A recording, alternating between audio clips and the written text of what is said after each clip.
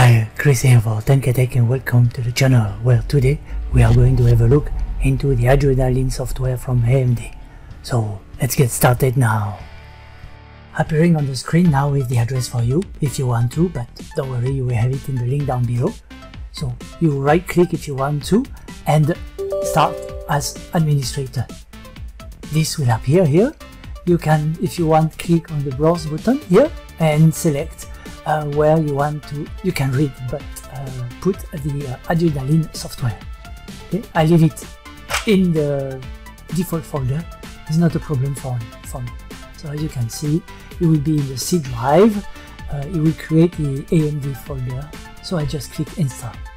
Then you can show details if you want to, and uh, it will show you basically what it does, but it goes so fast. You can go up if you want uh, with a slider and read, but basically that's about it. Once this is done, which it will go very fast, not to worry about that, we let the extraction happen. Once everything is extracted, uh, the uh, application will uh, start the installation process by itself. In the meantime, if you want, you can leave a comment down below if you want to see how I download, where I download, how, how I do recover the file that I have put on my desktop okay? because some of you may not know that. So you can leave a comment down below. As you can see now it is going pretty fast. It will be very very shortly started the application and then uh, we can go through. So here it is. Listen now. There it is. And now you can if you want reset to uh, the uh, factory basically what that does uh, you just have to read I leave it you can pause.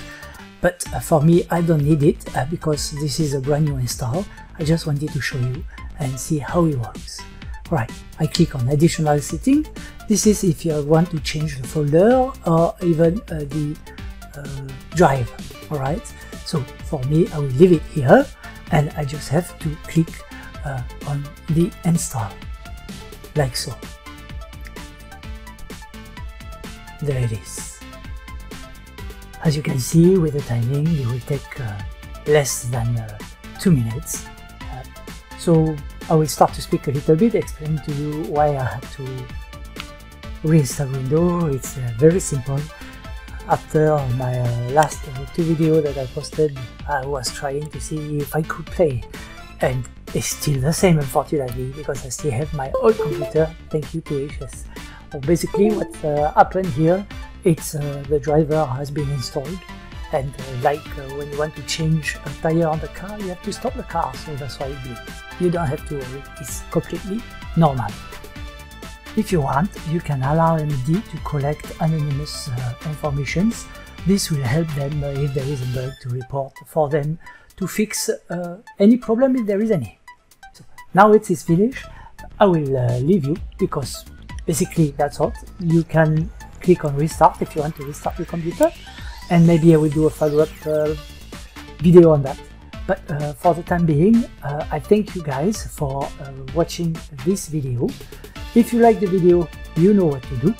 You can press the like button, you can subscribe even, and press the bell button if you want to be notified. If, however, you do not like it, just leave a comment and tell me why you do not like it. Most importantly, stay safe. Thank you very much and bye now guys.